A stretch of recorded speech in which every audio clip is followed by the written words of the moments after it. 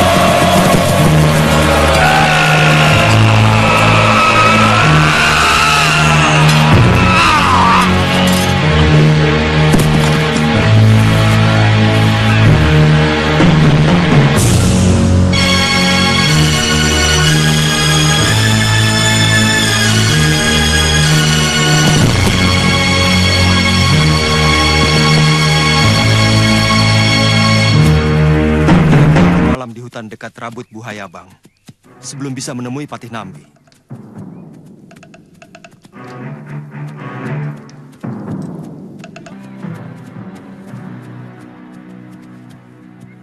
Hutan ini sudah masuk daerah Rabut Buhayabang. Sebaiknya kita istirahat di sini. Sebentar lagi matahari akan tenggelam. Ada manakala manusia dikendalikan Kakang, suara siapa itu? Saya kenal suara itu. Hmm. Sepertinya tidak jauh dari sini.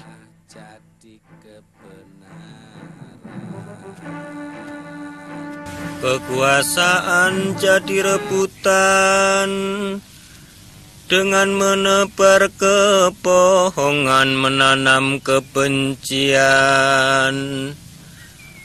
Manusia mabuk kekuasaan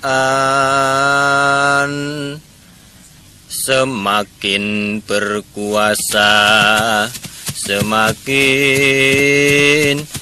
edan.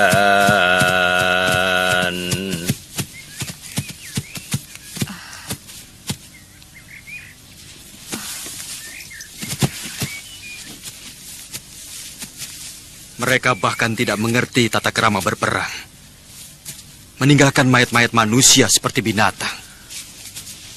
Orang mabuk pikirannya linglung Orang mabuk selalu bingung Bahwa kekuasaan hanya titipan dewa Bahwa semua yang fana hanya sementara. Wirot, Kamandanu Ternyata doaku dikabulkan. Aku ingin sebelum mati bisa melihatmu. Wirot, siapa yang melakukan? Tentu saja musuh Katakan siapa? Dalam perang tidak ada nama Yang ada Hanya kawan atau musuh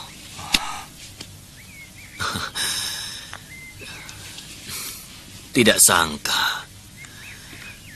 Dulu aku selalu menangis setiap mendengar cerita tentang gugurnya Resi Bisma. Ternyata sekarang aku mengalaminya sendiri. Hampir sama. Kamu juga menunggu matahari berada di utara. Sakit, Wirot. Mau kucabuti anak panah ini.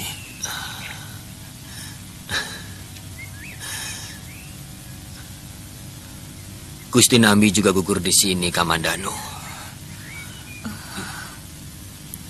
Nanti akan kucari jenazahnya.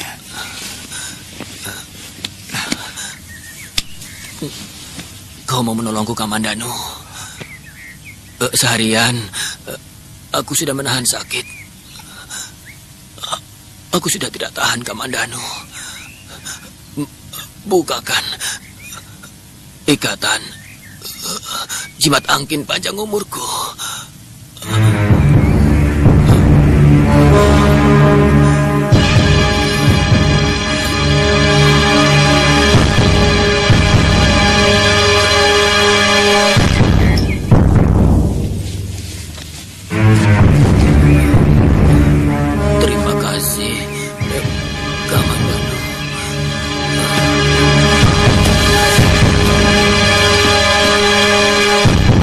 Kau mati sebagai pahlawan kebenaran, Wirot. Bukankah dari dulu itu yang kau inginkan? Aku iri kepadamu. Karena kamu jauh lebih punya sikap daripada aku.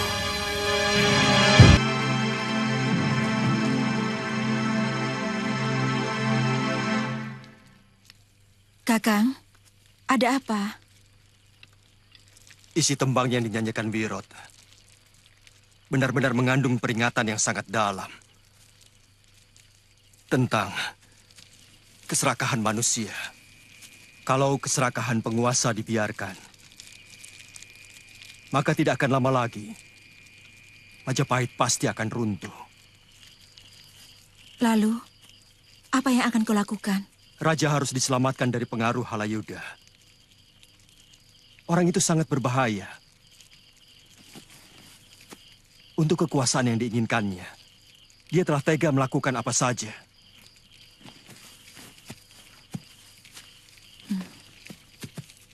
Dulu Gusti Ranggalawe, serta Paman Lembu Sora, dan Gajah Biru telah dia fitnah. Sekarang Gusti Nabi. Besok-besok, entah siapa lagi yang akan dia jadikan korban. Saya tidak keberatan kalau Kakang harus pergi ke Majapahit. Bagaimana dengan niatmu untuk memberi pelajaran kepada penculik Ayuwandira?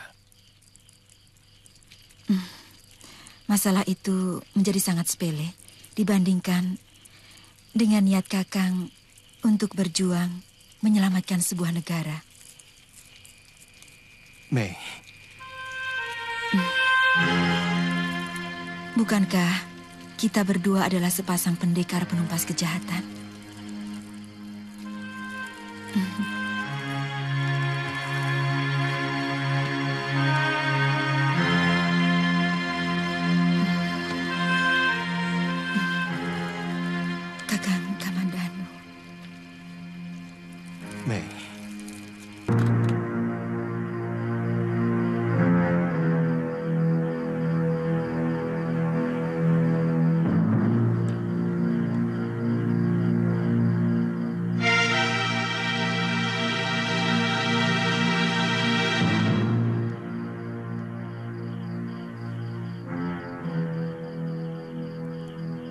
Sebentar lagi Bopo sama Bibi Mesin datang. Paman Kamandanu bilang pulangnya hari ini. Dia yang kasih tahu. Kamu aneh-aneh saja, Nada. Mana mungkin biawak bisa bicara? Dia bicara, tapi kakak tidak bisa mendengar karena omongannya tidak pakai suara. Bicaranya pakai apa? Pakai lidah dan matanya. Oh, Itu dia.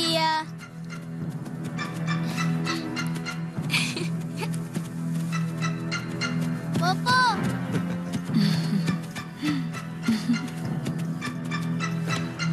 Nah, ah.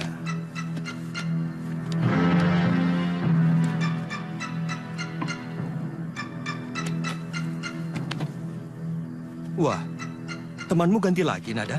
namanya Nyambe. Dia nurut, Bopo.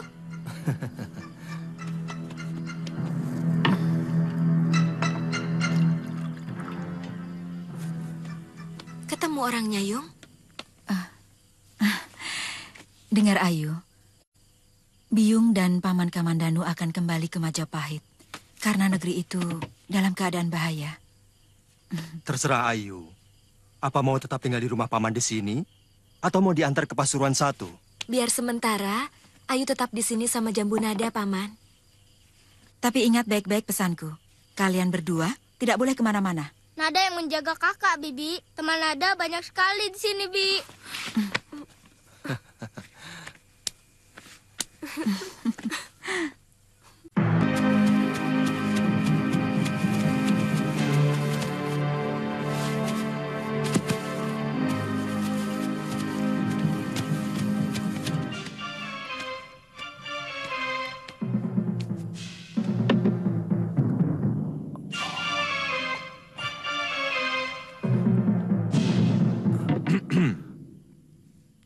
Paman, Kamu semakin gagah, Panji. Bagaimana rasanya berperang? saya bingung, Paman. Jangan kau biarkan pikiranmu menjadi bercabang. Sebaiknya seorang prajurit yang sejati hanya mengikuti satu pikiran. Bela negara. Lainnya, biarkan menjadi urusan pimpinanmu. Benar kata Paman. Gusti Patinambi sebenarnya tidak memberontak.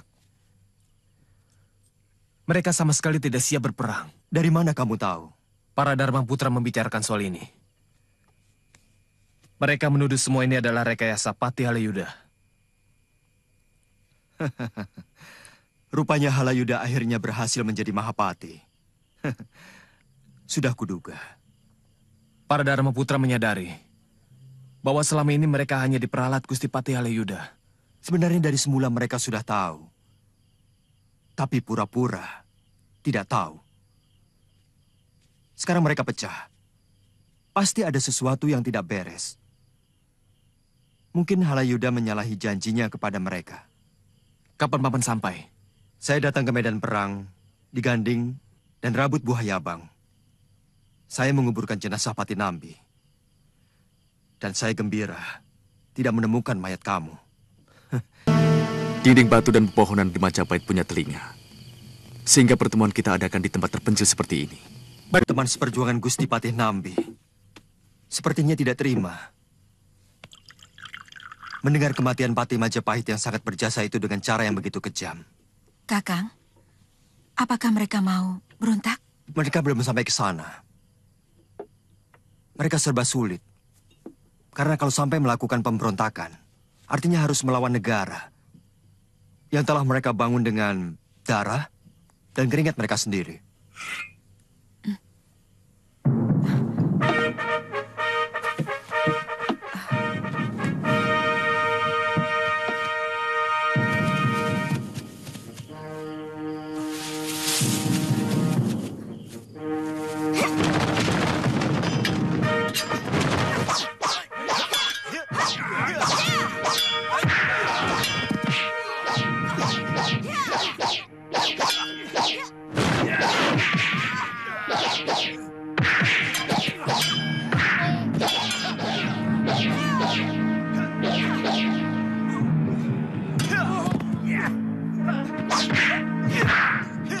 Siapa yang menyuruhmu?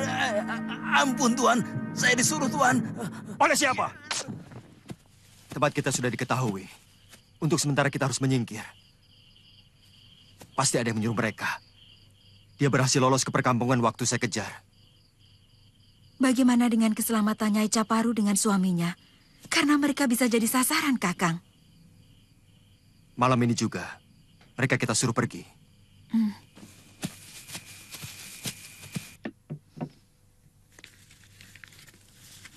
Tidak apa-apa, Den. Yang penting Raden selamat. Kalau Kica Paru tahu, jalan menuju Pasuruan satu, itu akan lebih baik lagi. Tanya rumah Nyai Paricara. Nyai bilang saja kepada Paman Wali Kadep, eh, atau kepada si Jangir, pembantu saya, bahwa saya dan Kakang Kamandanu yang menyuruh kalian untuk tinggal sementara di rumah saya. Saya pernah ke sana, Den. Mudah-mudahan saya tidak lupa. Kami akan mengawal kalian berdua. Sampai di sisi timur Gunung Penanggungan. Kalau kalian sudah siap, kita bisa segera berangkat. Sebenarnya kalau dari awal para pemimpin Majapahit bersikap tegas kepada dia Halayuda, mungkin kejadiannya tidak akan seruat ini Kakang Kamandanu. Adat orang di tanah Jawa ini terlalu pakewo, sungkan. Kalau yang dihadapi kebetulan orang yang pernah berjasa di masa lalu. Padahal, semua orang tahu bahwa dia Halayuda, penyebar fitnah. Dan korbannya sudah banyak. Akhirnya orang tahu bahwa Ranggalawe diadu domba dengan Patih Nambi. Bahkan dengan Gusti Prabu sendiri. Tapi tetap saja ada rasa pakewo untuk menindaknya. Apakah jasa dia Halayuda begitu besar kepada negara, sampai tidak ada orang yang berani menyentuh dia? Dia juga ikut perang melawan gelang-gelang. Dan juga tentara Tartar. Entah seberapa hebat perjuangannya. Tapi karena dia termasuk kerabat Kedaton, maka seolah-olah jasanya menjadi luar biasa. Aneh sekali. Kakak seperguruan saya, Jenderal Kausing, mendapat bintang jasa dari Kaisar Kubilekan karena jasanya kepada negara telah diakui oleh banyak teman sejawatnya. Kenyataannya demikian. Sebenarnya Gusti Prabu Jayawardana juga tidak pernah menganggap apa-apa kepada Halayuda. Buktinya sang Prabu tidak pernah memberi jabatan penting apa pun. Hanya sebagai tanda atau pegawai biasa. Kecuali menjelang akhir hidup sang Prabu. Dia diangkat sebagai penasihat Yuwaraja Jayanegara. Ketika dia berhasil memanggil Nini untuk menyembuhkan sakit. Sebenarnya saya hanya membantu Ratanca. Tapi karena Tanca bekerja pada Halayuda, maka saya pun dianggap sebagai pembantunya. Ya,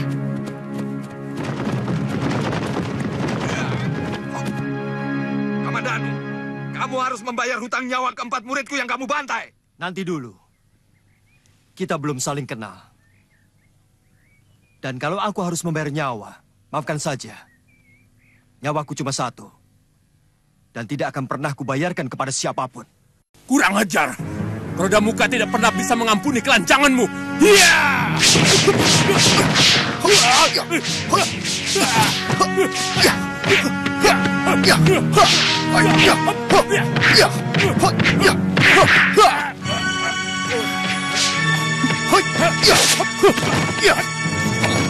Kakang,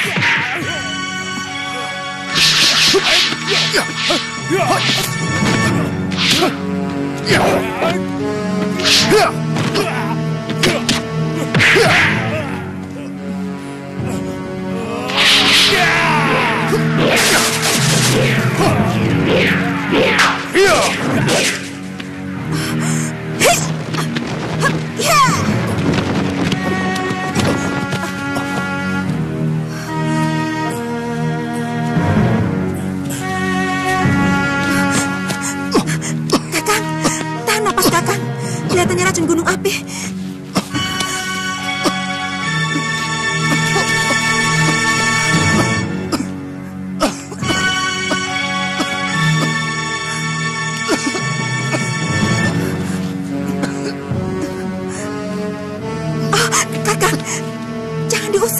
Debu racun itu bisa masuk ke dalam kulit dan akan membusukkan daging.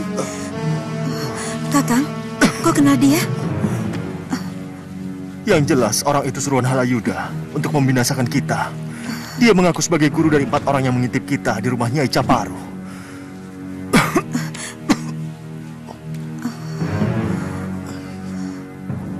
Terima kasih, Mas.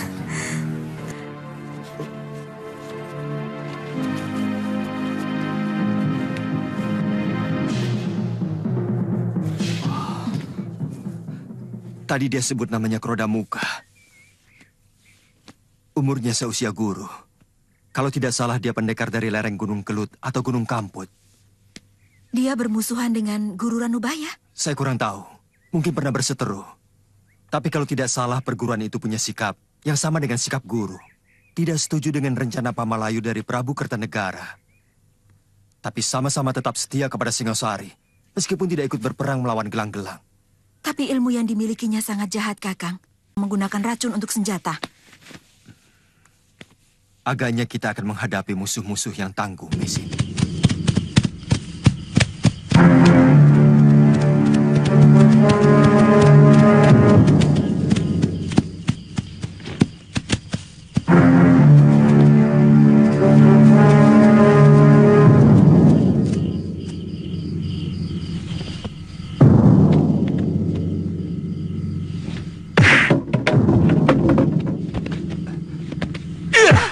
Sabar, Kamandano. Rakrian Empu, Seharian penuh aku menunggumu. dari mana Empu tahu tempat ini? Keponakanmu. Ini yang namanya Maisin. Oh, benar, Rake. Mei, ini Empu Wahana. Rakrian Tumenggung di Majapahit. Sebelum disingkirkan, Rake, dia telah memecatku. Juga Empu Sasi dan Empu Elam. Halayuda. Siapa lagi? Saya melihat sepertinya negeri ini tidak pernah berhenti dari berbagai persoalan. Terus terang, saya tidak mengerti apakah para pemimpin di sini tidak pernah memiliki cita-cita untuk memakmurkan dan mensejahterakan rakyatnya. Kenyataannya memang seperti itu. Sejak lepasnya Majapahit dari kekuasaan gelang-gelang dan menjadi negeri bebas, tidak habis-habisnya didera oleh pemberontakan demi pemberontakan. Tapi sebenarnya, semua itu berpangkal dari segelintir manusia berhati tamak dan dengki.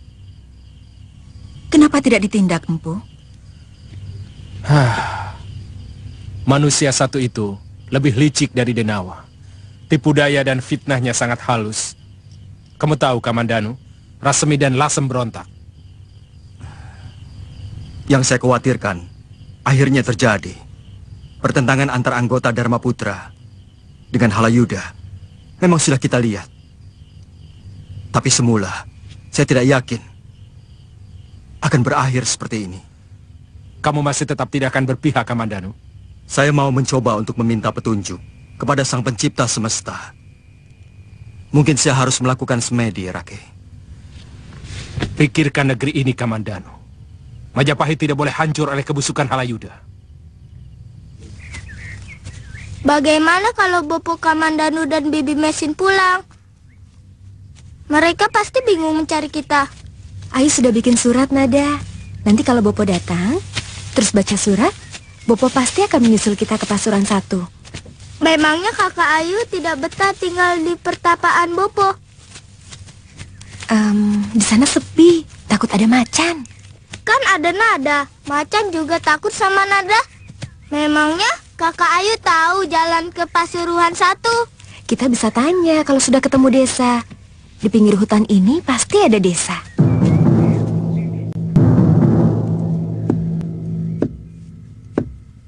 Sebelum peristiwa penculikan, anak Nyai Paricara tinggal di sini bersama ibunya.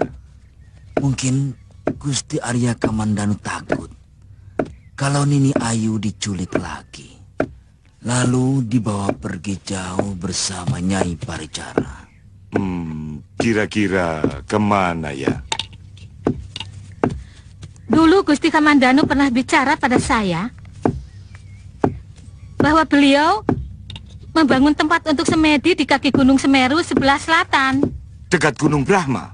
Jauh sekali. Saya yakin dibawa ke sana bersama Jambu Nada. Jambu nada. Mm-mm. Siapa dia, Nyai? Putra Den Kamandanu dengan Sekawuni. Jangir! Hah? Paman Wali Kadep! Betul, Ayu Andira. Iya. Tuh, Jambu Nada.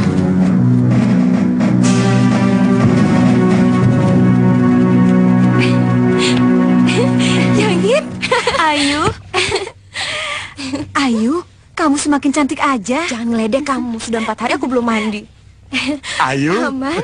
Aduh, Paman. Ayu kangen sekali pada Paman.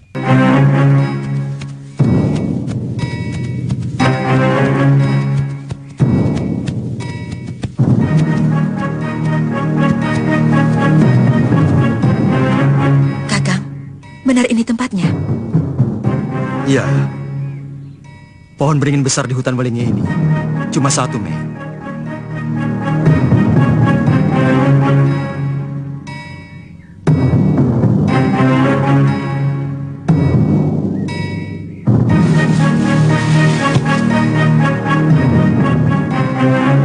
Selamat datang ke Mandanu.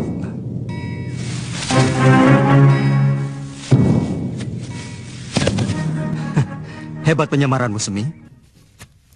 Kakang sudah menerima surat saya? Itu kenapa saya kemari. Saya hanya mengikuti saran Rakuti yang saya anggap benar.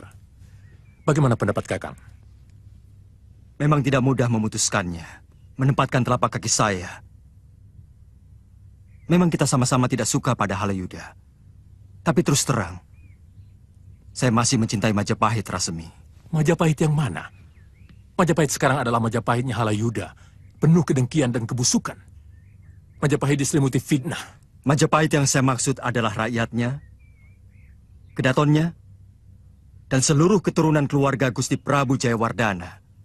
Sebenarnya, kalau Kakang berada di pihak kami, rencana untuk menyerang Majapahit secara terbuka akan kami gelar. Empu Wahana pernah menceritakan kepada saya.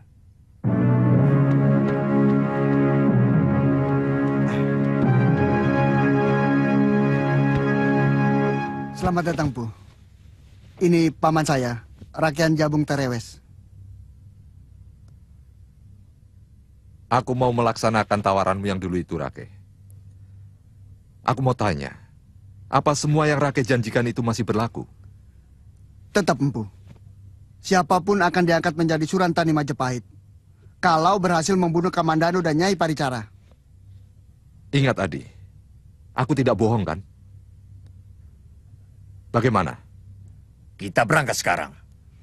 Tanganku sudah gatal ingin mencincang murid Ranubaya itu. Kalau begitu, kami pamit, Rake. Apakah tidak lebih baik Empu dan eh, makan dulu? Tidak usah. Kami lebih suka makan di warung. Karena sopan santun di sana jauh lebih cocok buat kami. Nanti saja kalau kami sudah jadi Surantani. Kami pergi, Rake. Terima kasih, Empu.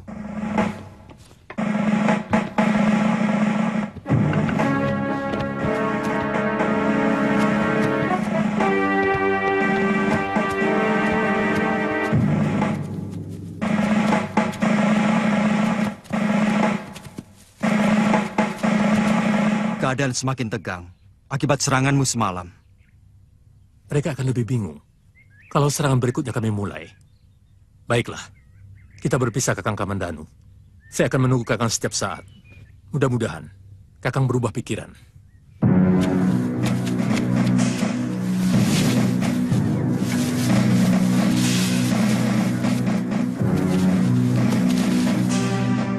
Itu ilmu Gangsir Antareja, Mei. Ilmu apa itu? Ilmu itu diilhami dari cerita Mahabharata. Ketika rumah yang ditempati keluarga Pandawa dibakar oleh orang suruhan Kurawa, tapi mereka bisa menyelamatkan diri. Karena sebelum itu mereka sudah dibuatkan liang rubah menuju hutan oleh Widura, paman para Pandawa. Kakang, sekarang kita ke mana? Kembali ke Majapahit, Mei. Lewat timur. Ya.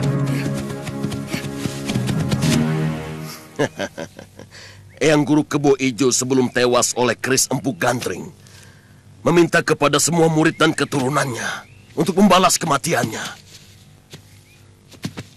Kepada keluarga Ken Arok, juga kepada anak keturunan murid Empu Gantring. Karena Eyang Guru tewas oleh kutukan sang empu. Cocok. Kamandanu ini murid dari Ranubaya. Ranubaya adalah murid Empu Sasi. Sedang Empu Sasi adalah murid langsung dari Empu Gandring.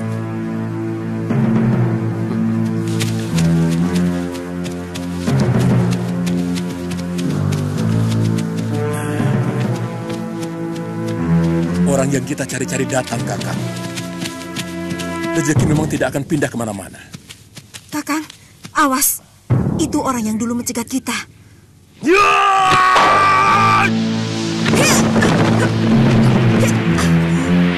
Hati-hati.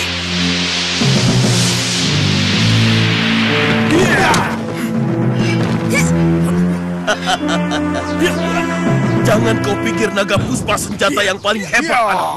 anakku. Aku sangat tahu kehebatan senjata buatan anak cucu Empu Gantring. Tidak ada apa-apanya.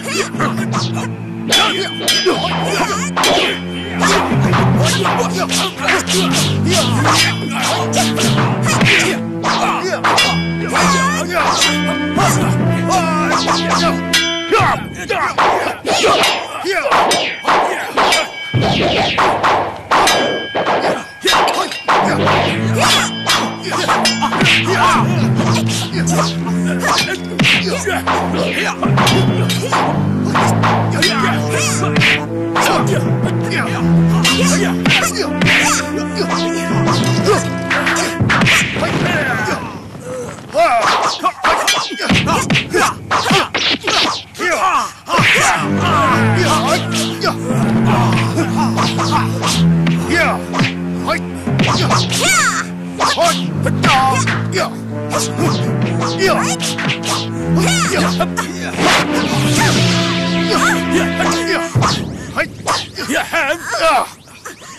Mesin!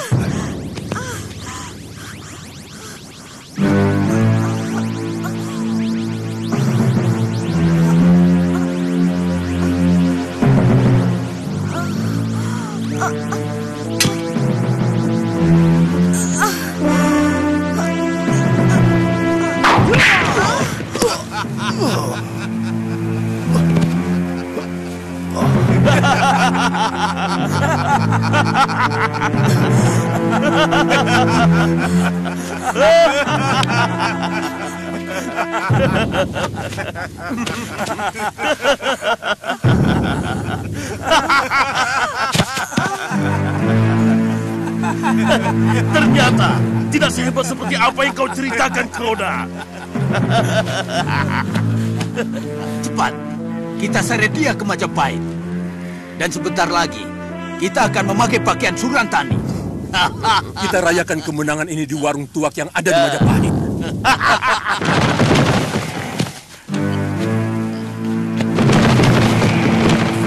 Weleh-weleh. Bawa kabur. Kurang ajar. Ayo kejar. Neni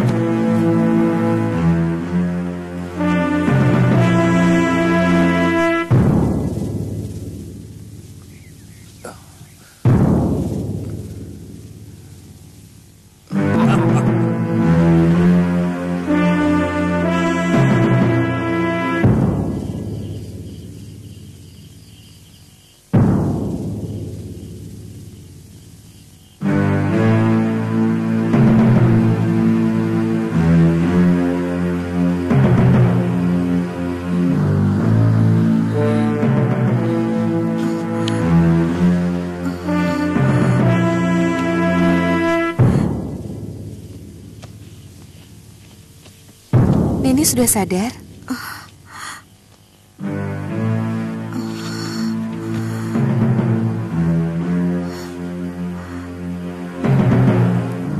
Di mana saya? Neni berada di tempat yang paling aman.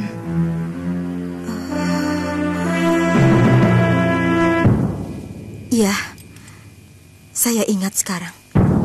Saya pingsan oleh serangan bunga racun yang baunya sangat harum.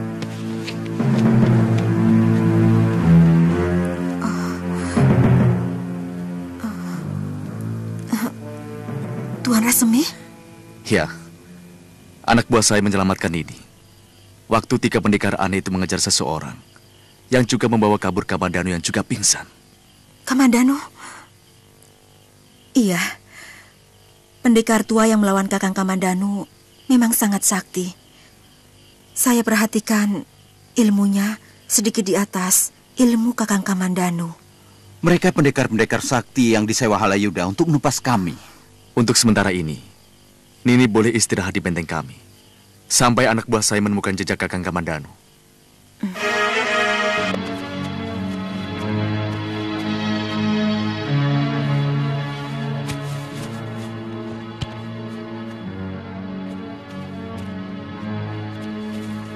Nini tidak apa-apa.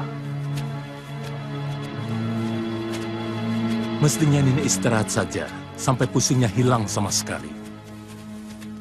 Saya harus sering menghirup udara murni untuk mencuci udara beracun yang sudah menempel di paru-paru saya. Mungkin ini memerlukan bahan-bahan obat. Saya yakin, dalam hutan ini banyak. Anak buah saya bisa membantu Nini. Tuan tidak usah khawatir. Kalau sampai besok masih pusing, saya akan minta tolong kepada Tuan. Apa rencana Nini kalau sudah sembuh? Kenapa Tuan tanyakan itu?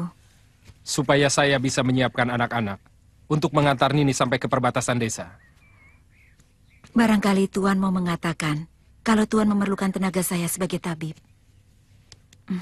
Itu yang kami inginkan. Saya bersedia membantu Tuan-Tuan. Terus terang, kami sedang bingung. Sebagian anak buah kami sakit. Bahkan sudah ada yang meninggal.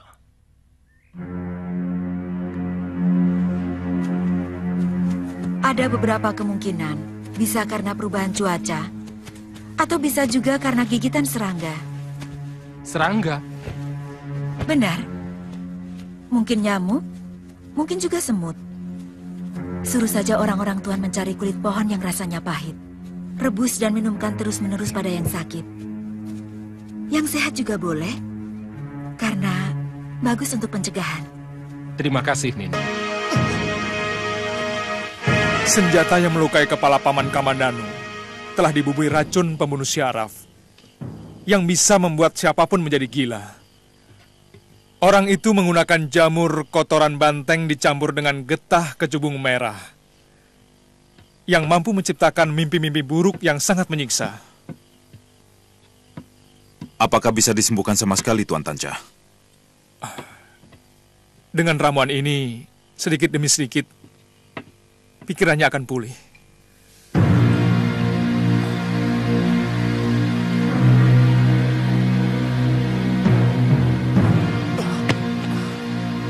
Jangan siksa aku seperti ini. Bunuhlah aku, Patih. Dia sedang dihantui oleh kebenciannya kepada Gusti Patih Halayuda. Hampir seluruh hutan di Majapahit dan Lumajang sudah pernah saya rambampu. Tinggal alas sulengi yang terkenal paling murid itu saja yang belum pernah saya masuki. Tapi saya kenal semua jenis tanaman yang ada di dalamnya. Tempatnya memang agak sulit dicapai. Karena harus melalui tebing yang sempit yang sangat berbahaya. Tepatnya di mana? Dekat empu menyelamatkan Tuan Arya Kamandanu. Pusatkan perhatianmu di sana. Aku tidak suka kalau ada orang yang tidak percaya kepada omonganku. Saya sangat percaya, Empu. Tapi Tuan Halayuda selalu minta bukti. Bisa dengan menyeret mayat Kamandanu dan Nyai Paricara. Atau membawa kepala mereka. Atau bisa juga pedang Kamandanu yang sangat terkenal. Aku hanya bercerita, kembar. Aku tidak menuntut hadiah itu sekarang. Pasti kedua mayat itu akan segera kutemukan. Jangan kaget kalau kamu nanti melihat Kamandanu menjadi sedeng. Semua itu karena pengaruh dari senjataku. Demikian pun dengan wanita itu. Ya. Dia akan pingsan selama berhari-hari sebelum akhirnya tewas. Dan tidak pernah ada seorang pun yang dapat berhasil menghadapi racun bunga bidadari. Mudah-mudahan tuan-tuan bisa menemukan mereka. Saya akan senang sekali menemani tuan-tuan menjadi Surantani Majapahit.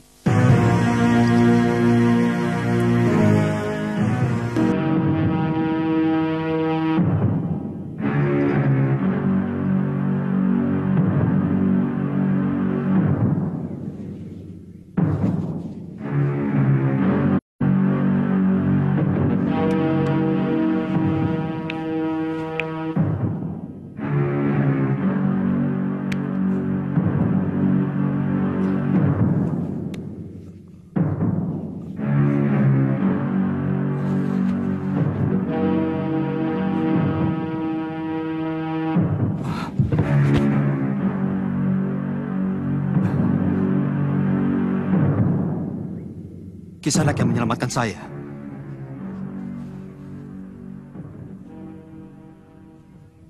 Tuan Gajah Mada membawa Tuan dalam keadaan tidak sadar. Kemudian Tuan Tabib Tanca yang mengobati luka dalam Tuan. Sebelumnya Tuan tampak resah dan berteriak-teriak ketakutan. Orang yang bersama keroda muka itu pasti telah menyihirku. Dengan mengirimkan mimpi buruk. Gajah Mada. Syukurlah Tuan sudah sadar. Sebelum diobati Ratanca, Tuan mengigau ketakutan kepada Gusti Mahapati Halayuda. Iya, orang itu memang kurang menyukai saya. Dia menuduhku berpihak kepada Gusti Nambi dan sengaja mengirimkan orang untuk membunuh saya dan Mesin. Saya pernah mendengar dari Tuan Reda Menteri Kanuruhan. Juga dari Empu Elang. Tapi jujur saja, sebenarnya Tuan berpihak kepada siapa? Saya berpihak kepada kebenaran. Kebenaran sangat pribadi sifatnya, Tuan Kamandano. Benar bagi Tuan, belum tentu benar bagi orang lain. Kebenaran sejati. Kebenaran yang siapa pun tidak mungkin bisa menolaknya. Sebagaimana siapa pun tidak bisa membenarkan fitnah. Kebenaran yang selalu dibela oleh hati nurani, bukan kebenaran yang selalu dibela oleh mulut dan kepentingan pribadi. Hmm. Bagaimana dengan sikap Rasemi dan Ralasem? Rasemi dan Ralasem, korban ketidakadilan yang dilakukan Halayuda. Selagi mereka hanya memusuhi Halayuda, tindakannya bisa dibenarkan. Tapi kalau mereka memusuhi Majapahit, mereka tetap seorang pemberontak. Tuan berada di pihaknya. Selagi mereka tidak kebablasan, bagaimana sikapmu sebagai seorang bayangkari?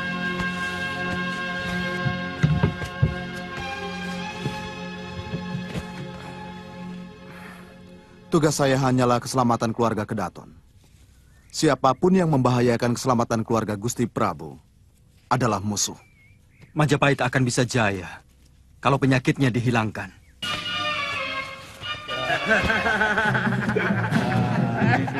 Tuhan biarkan mereka. Mereka sedang menikmati kemenangan. Selama ini mereka dicekam ketegangan. Kalau bisa lebih baik hentikan kebiasaan buruk itu, Tuan. Bisa merusak pikiran orang sehat. Orang tidak pernah bisa berpikir jernih, bahkan cenderung merusak, termasuk rencana kelompok Tuan.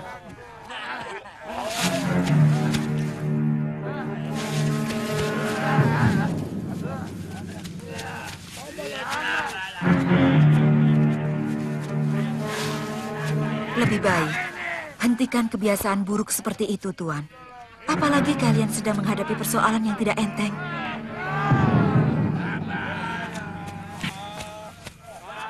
Kamu tidak berhak membunuh kegembiraan kami. Eh, Aku pimpinan di sini. Kalian harus mematuhi aturan. Padahal perjuangan kita masih panjang. Buat kalian tidak waspada. Membuat kalian lupa pada kewajiban. Ingat, pasukan Rama hancurkan Hanggada mabuk-mabukan. Waktu menjadi duta ke Alengkadirja. Sehingga termakan fitnah oleh Rawana. Aku mau tanya, siapa yang bertugas menjaga liang antara jam malam ini? Ya, mestinya ini tugas pasukanku. Ayo semua ke liang antarja. Kalian jaga di sana. Ayo cepat.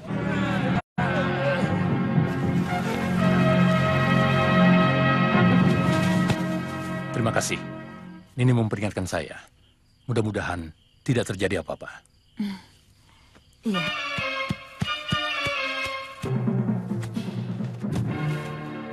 Paksi Jalu sudah datang, Kakang Kamandanu? Belum. Orang-orang Rasemi menyerang Gusti Pati Halayuda lagi. Hampir saja menewaskan beliau. 12 anggota pasukan pengawal kepatihan gugur. Di mana? Di depan gerbang Kedaton. Ini agak sulit dimaafkan, Kakang. Kami tidak bisa tahu. Apakah mereka hanya berniat menghancurkan Pati Halayuda atau memang sengaja mau menyerang Gusti Prabu di Kedaton? Apakah mungkin Rasemi menyalahi janjinya? Dia pernah mengatakan kepada saya, dia hanya ingin menghancurkan Halayuda. Kenyataannya seperti itu. Mungkin dia sudah merasa mampu untuk menaklukkan Majapahit. Tapi sebagai anggota pasukan Bayangkari, saya harus turun tangan. Bagaimana Paksi? Mereka di dalam hutan belingi. Hati-hati. Jebakan di sekitar celah dinding tebing untuk masuk ke dalam hutan sangat berbahaya. Ketika mereka sedang menikmati sukacita kemenangannya, nanti sore, perintahkan Gajah Mada untuk memanggil telik sandinya untuk petunjuk jalan. Sudah kering, Paman. Mudah-mudahan bisa sembuh sama sekali. Untuk jaga-jaga, lebih baik Paman minum obat ini sampai habis. Terima kasih, Tanja. Iya. Jalu, kamu yakin yang kamu lihat itu mesin? Ciri wanita itu sama seperti yang Tuan ceritakan. Kulitnya kuning langsat, cantik, dan mengenakan pakaian seperti lelaki. Sebelum aku pingsan, masih sempat aku melihat dia limbung oleh tebaran racun dari teman pendekar, Kroda Muka. Barangkali dia diselamatkan oleh orangnya Rasemi.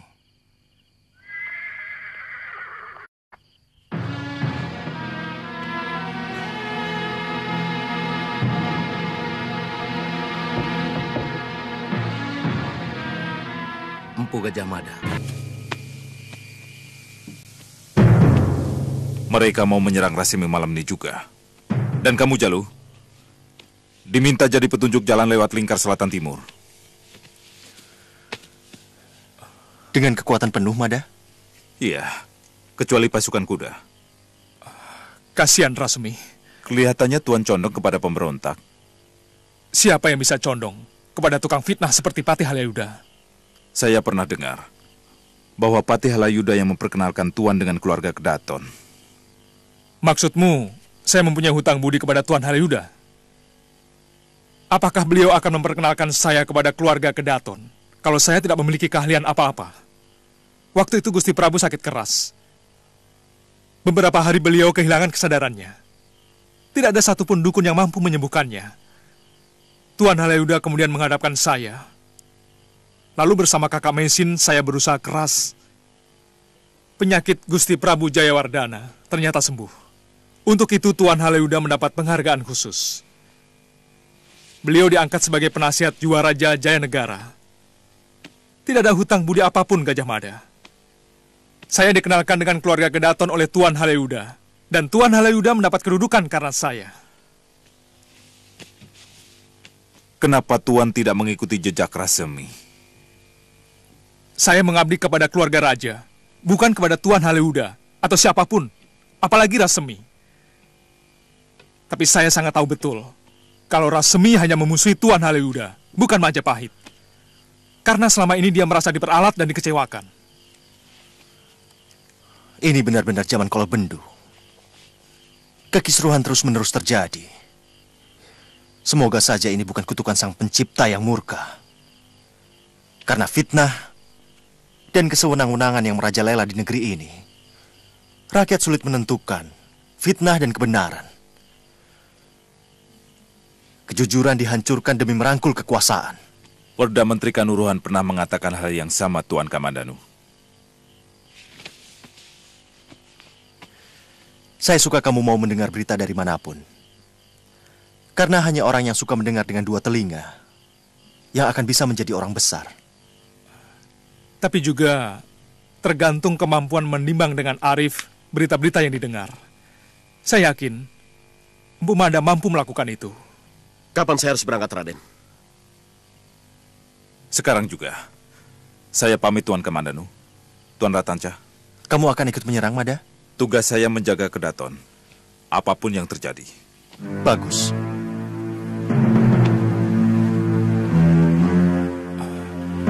Kalau kakak Mei berada di sana, bisa berbahaya, Paman. Tampaknya penyerbuan yang dilaksanakan dia Halayuda tidak main-main.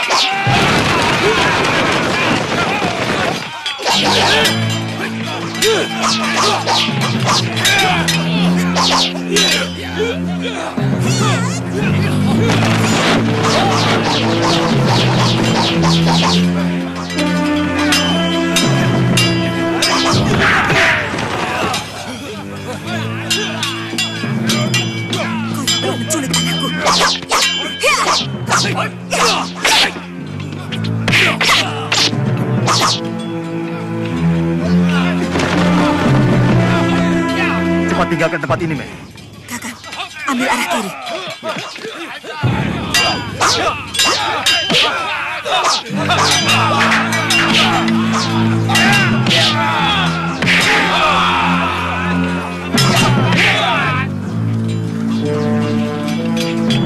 Kakak, ini adalah pintu liang antareja. Kita bisa keluar dari hutan ini, kakak. Itu ke Kuta Raja, Mei. Berbahaya. Hanya prajurit yang bertempur itu yang tahu bahwa saya ikut membela Rasemi. Oh ya, kakak, mana pedang naga puspamu? Saya simpan. Kalau saya memakai pedang itu, prajurit Majapahit akan mengenaliku. Ayo.